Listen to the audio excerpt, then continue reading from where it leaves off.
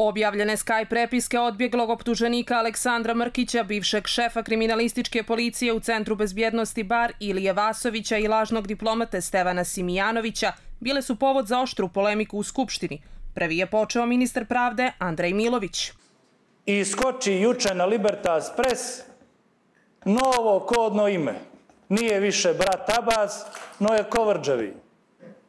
I novi kontekst opet nešto, no kako ne izađe na Sky nešto o Andreju Miloviću, o Borisu Pejoviću, o Mišu Lakoviću, o, o kako ne izađe nešto.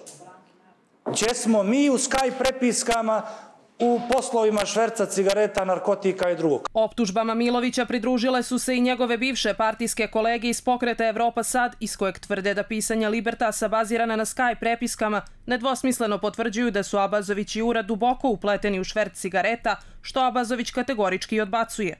Ja nikad nikakve poslovne odnose sa bilo kim ko se pominje nisam imao. Ako vas interesuje Aco Mrkić, evo vam ga čovjek ovdje. Vam ga čovjek ovdje koji vam može reći o vezama sa Acom Mrkićem. Dakle, Mišo Laković je čovjek da ne bude neke dileme. Ja sam u toku 42. vlade od marta do novembra mjeseca radio u kabinetu potpredsjednika vlade za bezbjednost kao savjetnik za nacionalnu bezbjednost. Imao sam jedan kontakt, mislim da je sredina 2021. godine, od strane Aleksandra Mrkića, lica, lica kojega nisam poznavao do tada. Svemu tome sam obavijestio potpredsjednika vlade i dobio saglasnost da napravim taj kontakt i taj sastanak. Otkrio je i razloge napuštanja vlade Zdravka Krivokapića. Kad sam vidio kako se gospodin Abazović odnosi prema sektoru bezbjednosti, kad sam vidio kako se sektor bezbjednosti razara, ja sam ušao kod tadašnjeg potpredsjednika vlade i sve to mu saopštio i rekao da ja sebe u takvom ambijentu i u takvom načinu rada ne vidim. Nas je bilo razaranje bezbjednostnog sektora kada su počeli da se procesuiraju visoki službenici policije. Kada vam je bio Veljović direktor, 10-15 godina, vi ste bili oduševljeni tim sistemom. Radili ste tamo, niste podnosili ostavku.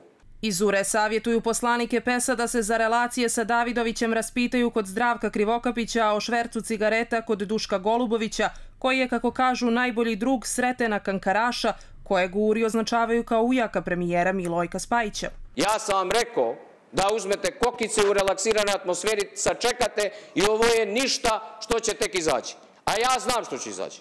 Proizvodnja kokica u Crnoj Gori raste, raste i prodaja, kako je krenulo, bit će vrlo zanimljivo i jedva čekam da vidim epilog i ove Sky komunikacije. Na prepiske je reagovao i predsjednik Demokratske narodne partije Milan Knežević. Ocijenjuje da one predstavljaju tek vrh ledenog brijega kompromitacije i kriminalizacije izborne pobjede 30. avgusta i navodi da je sada jasno zašto je Stevan Simijanović u septembru 2020. posjetio sada pokojnog mitropolita Amfilohija nekoliko sati pred sastanak sa liderima tadašnje parlamentarne većine u manastiru Ostrog.